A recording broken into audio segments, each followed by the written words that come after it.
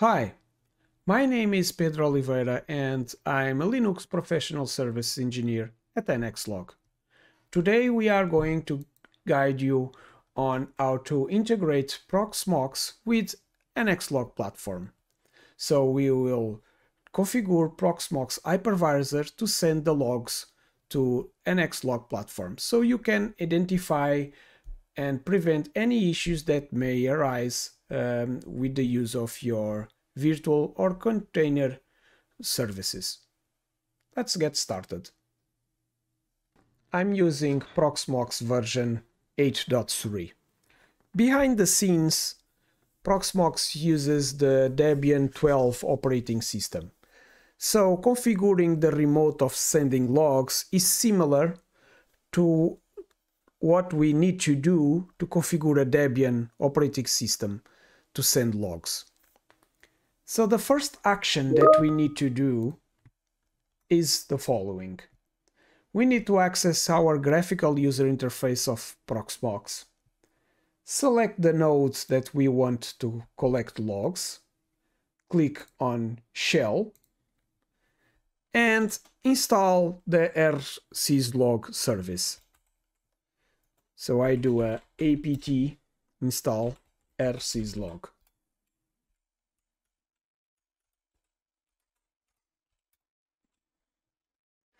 After the installation is done,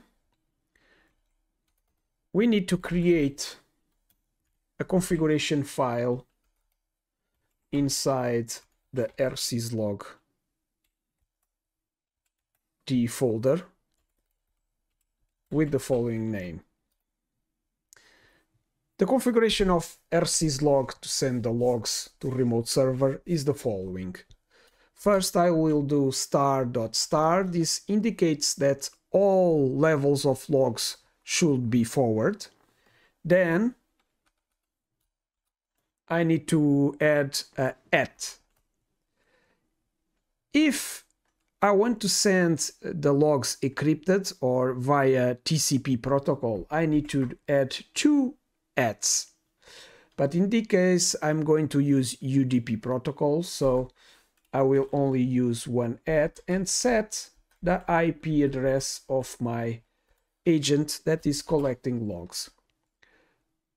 Also, I'm going to define a new port called 5514. So right now I'm configuring rsyslog daemon to forward all logs to the IP address 10.0.0.0.46 on port 5514. Save the file, restart the daemon,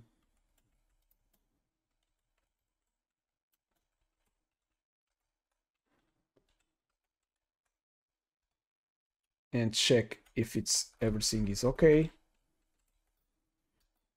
And the daemon is up and running.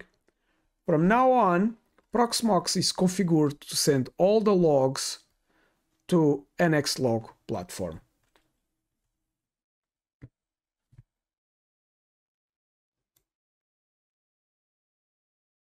Then we need to go to our NXLog platform and configure our agent to receive Proxmox logs.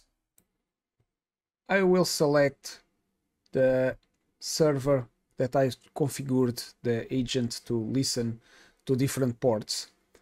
And so we need to go to configurations overview, select listen to agentless server template. On previous videos, I already have these ports configured. So uh, for IPFire 514, for pfSense 5114, However, for Proxmox, I want to separate uh, from the firewalls and Synology. So I will add another route. Select the syslog. So sys drag and drop. I will add another name. So the port I configured was 5514 and I will give the name Proxmox to identify better that it comes from the Proxmox hypervisor. So I would like to send to nxlog platform to be stored um, and to have a retention period of of one year. So behind the scenes, what is uh, happened here? If I go to view configuration, I already have my configuration done for the other ports. And for Proxmox, I have this one. And I have a second port, a second route called route 2. Okay. So let's save our configuration. This icon means that uh, our agents needs to be updated. So I'll check Uh, my agent. So my agent needs to be updated. I will update the configuration. Check the refresh status and let's see. So we have all our modules on the status running and soon we will see for Proxmox.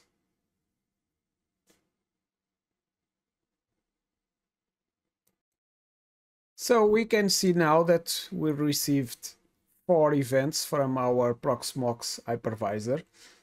Let's check which kind of information we have received from Proxmox. So we go to log search, click on the module Proxmox, and I just received these three logs. So from our Proxmox hypervisor.